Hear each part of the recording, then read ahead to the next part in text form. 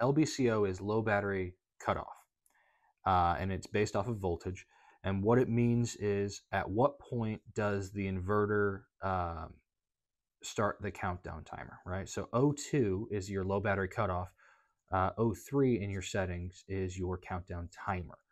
Low battery cutoff, if the inverter senses that the battery is below that voltage that you've set, it'll start counting, uh, which is setting number three. Out of the box, it's set for 300 seconds, which is about five minutes. Uh, so if you are under that battery voltage that you have set for longer than that period of time, the inverter will turn off. That way you don't uh, over discharge your battery.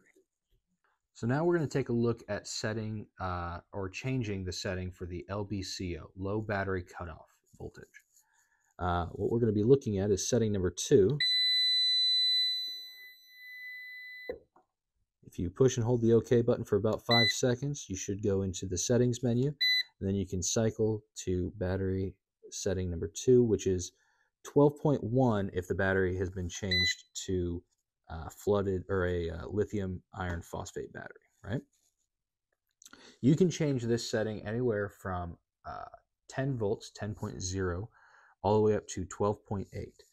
Um, in some applications, you may get a low battery um, message, an error code, a zero one on the inverter or on the uh, the display here as well, which is a mimic screen of the uh, the actual local panel on the inverter itself.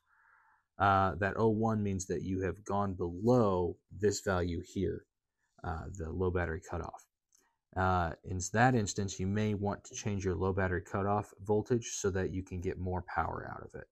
Uh, typically, this is used um, if you have uh, shorter runs of wire uh, or you have a lithium battery that can sustain a higher voltage for a longer period of time.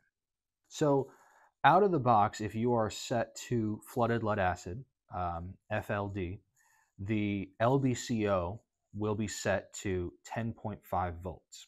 If you change, we have preset algorithms in here for different chemistries of battery.